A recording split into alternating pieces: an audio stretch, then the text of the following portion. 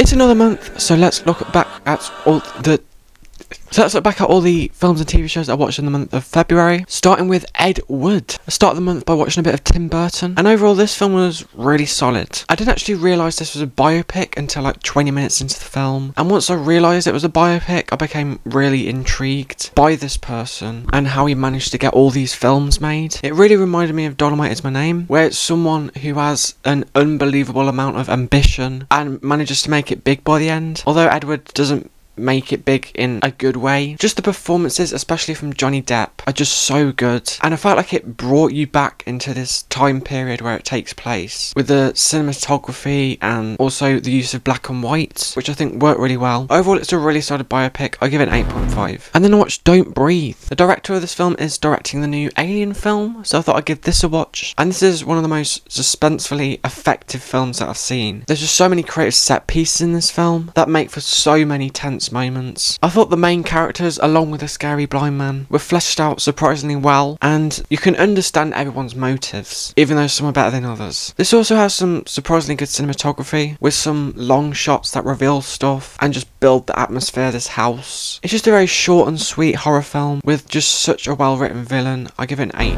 And then watch Interstellar. This is the last Christopher Nolan film that I have to watch before I've completed its filmography, and this was just a beautiful film. Everything from the cinematography to the story was just beautiful. I didn't know Matthew McConaughey could put in such a great performance. I love how these characters are fleshed out, and how everything falls into place perfectly in the end, and how odd bits from the start come back full circle. I do think there are some overly epic scenes that go on for a bit too long, and some of the dialogue, especially on the ship, got very repetitive and a bit boring. But apart from that, I think it's just one of Nolan's most emotional and beautiful films. I give it a 9.5. And then I watched Princess Mononoke. This is probably the most controversial opinion I've had on this channel since giving The Last Samurai 5. I'm just gonna put it in the middle of the road and just say 5. But I just found this to be very boring. I'm sorry. I felt like I understood the story and I found the characters to be very likable, but it just lacks the charm of the previous Miyazaki films that I saw before this. And this massive epic story just doesn't invest me, which even upset me because I was trying so hard to be invested. I like the whole mythology aspect with all of these unique creatures and talking animals, and the animation is just so phenomenal, obviously, as always. But again, I just couldn't get into the story. I'm sorry. I give it like a 7.5. And then watch Spirited Away. Again, this is another one that I absolutely hated. It's like a 0 out of 10. I'm so I'm joking. This one was almost perfect. It just had that Miyazaki charm back. I just love the world building in this film, and it does a great job at making this world so whimsical and wacky and weird. I didn't find the main girl to be that likable at the start. I thought she's a bit of a wimp, to be honest, not gonna lie. But the way they develop a character over the course of the film just makes her such a great character to follow, and I just loved it. The story is also great as well, and I was very invested in it. I feel like it has similar themes to My Neighbor Totoro, with this magical world that can disappear and the adults can't see it. I just love this film. I don't know what else to say. I give it a 9.5. And then watch Howl's Moving Castle. This is another Miyazaki film that I like more than Princess Mononoke. It just has that signature charm, along with a pretty investing story that I liked. I didn't think the main character was all that likable, and the film did kind of lose me in the third act. But this world is just so built out again, and the side characters are great, especially the fire guy. This is probably the weirdest Miyazaki film I've seen as well. Got all these witches and this war going on and a bunch of curses. It is a lot, but I think it's balanced out surprisingly well. I liked it. I give it an 8. Then I watched Ponyo. This is probably the most cute film out of Miyazaki's filmography. It just feels so innocent with a really simple concept that's just executed so well. The relationship between the boy and the fish is just really fun and it's just charming throughout the whole runtime. I do think maybe it's a bit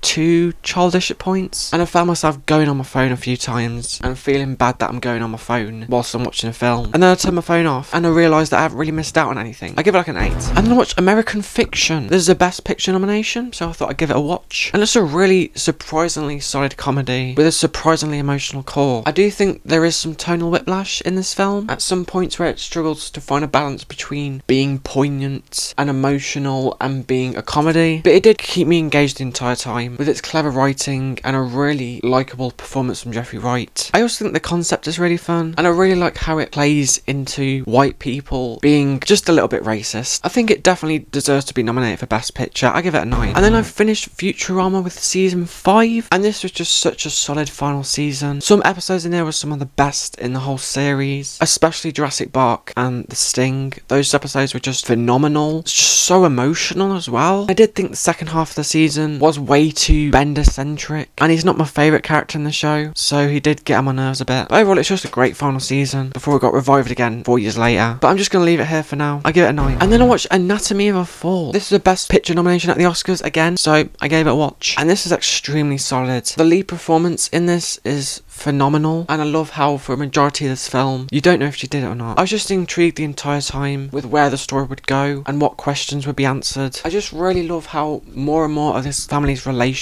is revealed in this film throughout the court scenes and how it makes you root for one character more than another. It's just an amazing drama and I feel like it's very rewatchable as well as you can judge the main character's reactions and responses two different ways which I just think is amazing. I give it a 9. And then I rewatched Whiplash. I bought this film on 4K a few months ago I was dying to give it a rewatch. It was like in my top five films of all time, and rewatching it again, it's still in my top five films of all time. Fletcher is just one of the best characters in film ever. I just love how it shows all these different aspects to his character, even little scenes when he's talking to the child in the hallway. It just shows that he's like anyone else, but he just cares so much for the art of jazz that he's willing to push anyone past their limit. And telling it from Andrew's point of view and how he endures this abuse and grows to appreciate Fletcher's character more and more as the film progresses, leading to the finale, which is probably my favourite finale in film ever. It's just an unbelievably great film, and I'm not even taking into account the amazing cinematography, which adds so much smoothness to a scene when the camera pans back and forth between characters. I could just talk all day about this film. I love it so much. It's a 10.5. And then I watched The Wind Rises there's the final Miyazaki film that I watched, and this film feels like such a passion project for Miyazaki and the filmmakers involved. You can just tell a lot of people working on this film really like planes, and I like being able to see that passion through the film. But I'm not really into planes though, so I didn't get into this film as much as I wanted to. I do like how mature this film is for a Ghibli film. It deals with a lot of themes of war and death, and I do like the main character and his relationship with this woman. I also like the stuff with the dreams and how wondrous it was, and I did did leave this film feeling a sense of emotion. So yeah, I think it's pretty good. I give it an 8. And then I watched Red, White and Royal Blue.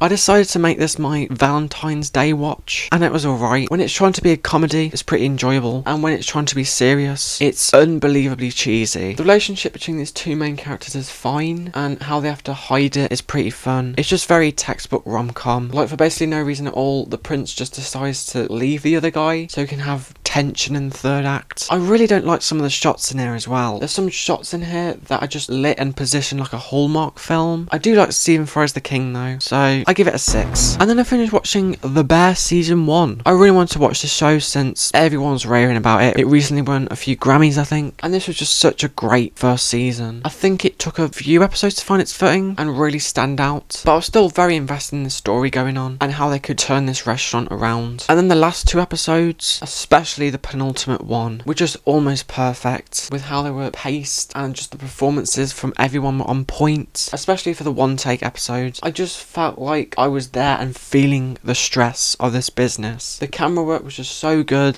It's just such a great episode. There's just some really likable characters as well. Some of them grew on me quicker than others, but I like them all at the end, and I was just so excited to see where they took it for season two. I'd give it an 8.5. And then I watched the Grand Tour Sand Job. It's another Grand Tour special which I just really liked. I definitely think it's an improvement over the last special. First of all, it's longer than any of their other specials at 2 hours and 20 minutes, but I was kept entertained by the trio the whole runtime. There were some moments in this film where I genuinely felt tense, like when they were trying to get across the river, and obviously the banter between these three is just so funny. Again, like I've mentioned with the past specials, I do think the scripted moments are extremely distracting, and it frustrates me how they try to play it off as something that's actually happening, but I do think this special played into it a bit more to where some moments were so overly fake that I just couldn't help but laugh. Most notably, Hammond driving into a minefield. I just had a fun time with it. I give it an 8.5. And then I watched The Iron Claw. I heard great things from this, and after watching it, I'm just shocked that I wasn't nominated for any Oscars. It's just such an emotionally powerful film with a really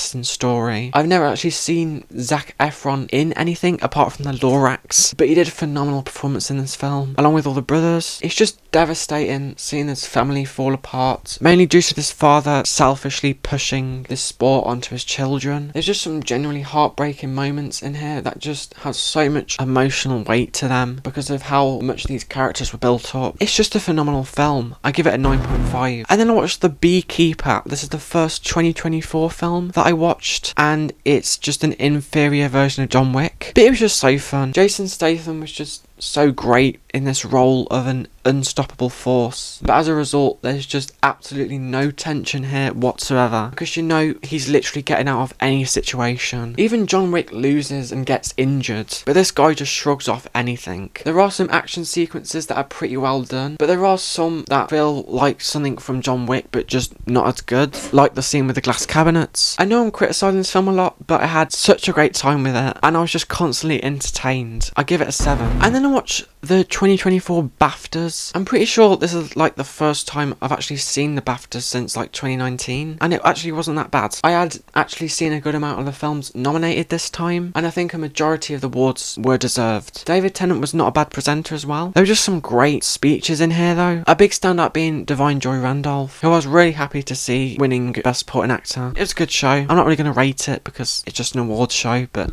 yeah. Then I watched The Good Dinosaur. I wanted to watch all the Pixar films that I missed out on, and this one was alright. I really like the relationship between this dinosaur and the caveman, and there were some really funny and cute moments involving them, and the animation does look really good. Even though I felt like the cartoonish design of the dinosaurs clashes with like the realistic environments a lot. The story is just painfully generic, and the ending just felt a little bit unsatisfactory. Even though I thought it was a happy ending, I like the voice acting, especially from the guy from The Big Lebowski, but I just found it overall to be a bit boring. I give it like a 6.5. And then I watched Soil Soil? What am I saying? And then I watched Soul, and it's just one of Pixar's best in my opinion. I thought the concept was so great, and it just reminded me of one of those classic Pixar films like Up and WALL-E, where it just has such an intriguing story with a likable main character. It's just paced extremely well as well, and I like how poignant and emotional it gets near the end. There's just some great voice acting in here as well, obviously mainly from Jamie Foxx. You've also got Graham Norton in here, which I wasn't expecting, and he's really fun in here. It's just a memorable memorable and fun film that again I think is one of Pixar's best. I give it a 9.5. And then we got another banger on our hands right here. We got La La Land. This from the same director as Whiplash and I originally brought it on 4K. So you know I was desperate to give this a watch. Going in I knew it was a musical as I've said before. I'm not the biggest fan of musicals but this film kind of made me love musicals. I just love how this story is told and how it shows the ups and downs of the relationship. You just got some standout performances in here from Ryan Gosling and Emma Stone and they just elevate this film so much. With how much they had to learn to do for this film, like dancing and singing, playing piano. I do think maybe some of the musical sequences went on for a bit too long, especially the opening one, which I do think felt slightly out of place. But the rest of the film is basically perfect, and I just love the emotional gut punch of the ending. I give it a 9.5. And then I watched The Zone of Interest. This is another Best Picture nomination that I want to check out. And overall, I really liked it. Obviously, the subject matter and the time periods it was set in is very bleak, and this film reflects that extremely well. This film has some of the most standout sound design that I've seen in a film. It's just so haunting, and the fact that all you can do is hear it makes it even more haunting. This is very much a slow burn film, and I do think that some shots go on for way too long, but I do think the story points and the horror of it all just set in a little bit more. There were some moments where the film drug a lot, and it doesn't really give the family that much character development, probably because the film obviously doesn't want you to sympathise with them because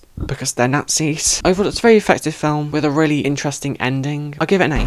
And then I watched All of Us Strangers. This got nominated for a few BAFTAs, and it's probably the most depressingly, emotionally devastating film of last year, and I just love it. First of all, I love the 80s, and I used to watch repeats of Top of the Pops all the time, so I love the soundtrack. I love the themes of not letting go of someone and how falling in love with someone can like open this door from your past. It's just so interesting, and I love how it's done with the mom and the dads and how you don't really know what's going on for a lot of it. Some scenes are part of a trip sequence, some scenes are part of a dream, and then some scenes feel like it's actually happening, and maybe something paranormal's going on. I was just hanging off most of the dialogue in this film, especially with the mom and dad, as the main character is desperately trying to spend more time with them. I do think the relationship with the main character and his boyfriend is not as investing, but I do love where they take it with the ending. Andrew Scott just does such a phenomenal performance, and I'm just shocked he wasn't nominated for an Oscar. I just love this film. I give it a 9.5. And then I rewatched Deadpool. Actually, recently I got a Deadpool controller holder for my Xbox controller. But yeah, I rewatched this film for